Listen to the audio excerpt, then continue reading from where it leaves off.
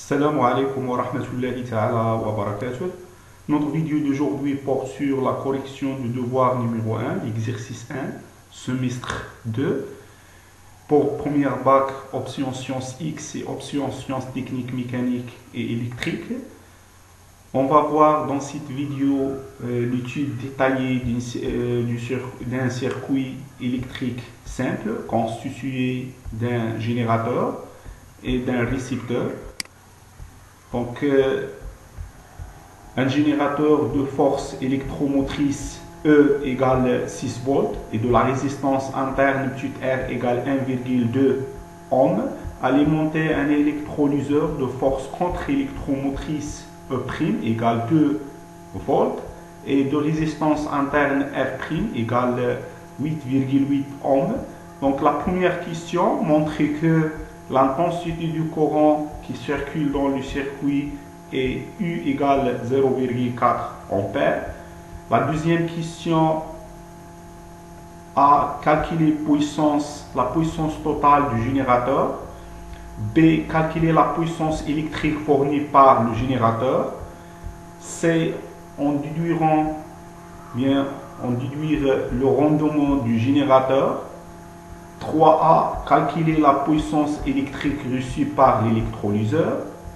3B. Calculer la puissance, utile ou chimie de l'électrolyseur. 3C. Calculer, en déduire le rendement de l'électrolyseur. 4. Calculer la puissance dissipée par le fijoule dans le circuit. La dernière question, calculer le rendement global du circuit. Donc ici, on a l'étude d'un circuit simple qui est constitué d'un générateur de force électromotrice, E égale 6 volts, de résistance interne, R égale 1,2 ohm,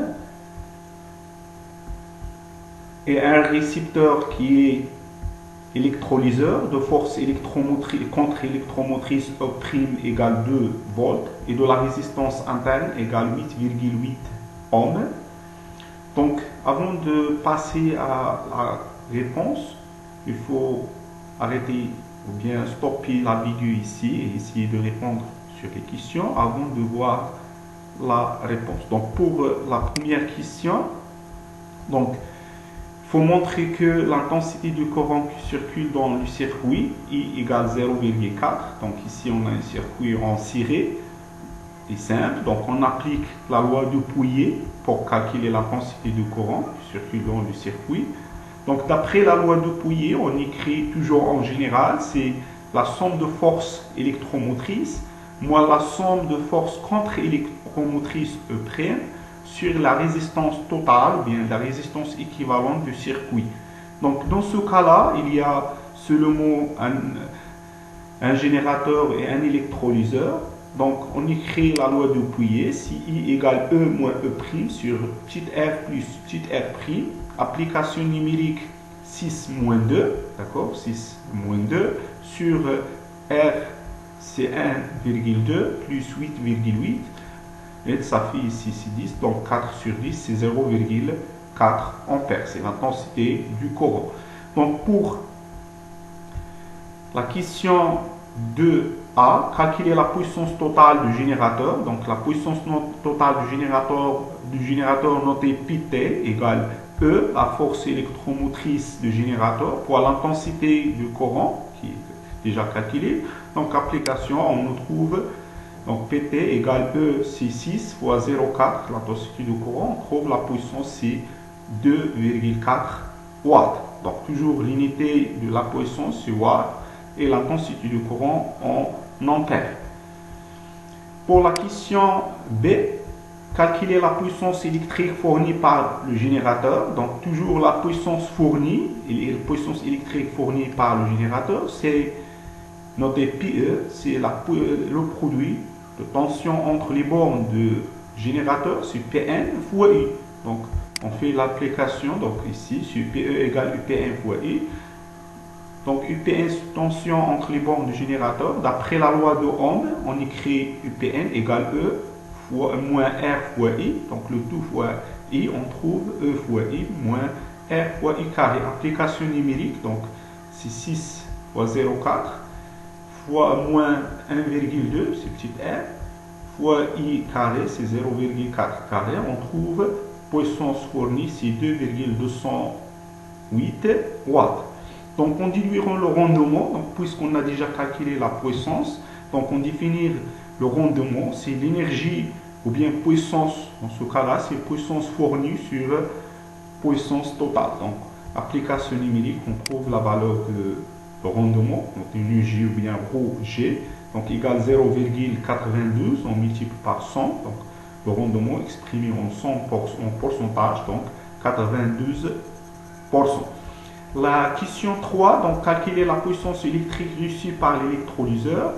Donc ici, pour l'électrolyseur, c'est toujours tension entre 6 bornes fois l'intensité du courant. Donc on écrit PI, euh, PR, puissance reçue, égale I fois I. Donc on remplace ici, d'après la loi de Ohm, c'est E' plus R' fois I. Le tout fois I, donc devient E' fois I plus R' fois U carré. Application numérique, on trouve puissance reçue. Donc nous pouvons remarquer que puissance reçue par le récepteur égale la puissance fournie par le générateur parce qu'on a un circuit simple constitué seulement de deux éléments, le générateur et le récepteur qui est électrolyseur. Donc l'énergie fournie ou bien puissance fournie égale la puissance reçue par l'autre récepteur. Euh, pour euh, la question 3b, d'accord, donc euh, calculer la puissance utile ou bien puissance chimique de l'électrolyseur, d'accord, donc puissance utile, donc PU ou bien PCH chimique, égale la force contre-électromotrice au prix fois I. Application numérique, on trouve PU égale 0,8 watts. Donc euh, la question c'est en diluer le rendement de l'électrolyseur. Donc toujours, puisqu'on a calculé la puissance, donc le rendement sur la puissance utile sur la puissance reçue.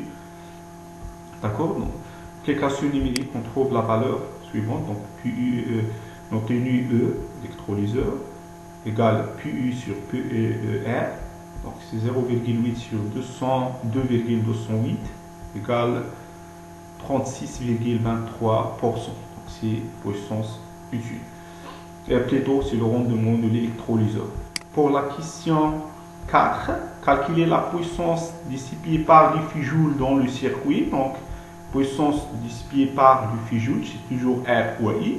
Donc, puisqu'on a dans le circuit il faut chercher la, euh, la, résistance totale du circuit, donc ou bien équivalente, c'est R plus R'. Donc on écrit PG, puissance dissipée, ou bien PTH, thermique, puissance thermique, parce que l'effet joule est un effet thermique. Donc soit noté PJ, soit PTH. Donc égal R plus R', le tout fois I carré. Application numérique, on trouve 1,6 watts. Donc maintenant, il faut calculer... Euh, calculer le rendement global du circuit simple. D'accord? Donc, on a déjà calculé la puissance utile, bien puissance chimique pour le récepteur, et aussi euh, la puissance totale fournie par le générateur. Donc, ça le rendement. Donc, le rendement du circuit noté soit ρ C ou bien ρ euh, nu, soit nu euh, C. Donc, première méthode. Donc, c'est puissance utile sur puissance totale égale aussi 0,8 sur 2,4 égale 80, et plutôt 33,33%. Méthode 2, nous pouvons calculer puissance reçue pour circuit simple.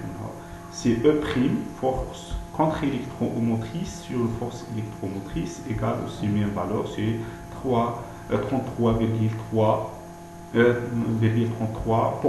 Donc c'est la fin de cette vidéo, j'espère qu'elle est très utile vous. N'oubliez pas de partager avec les amis et bon courage pour au revoir pour la correction du deuxième exercice et la troisième exercice concerne la chimie.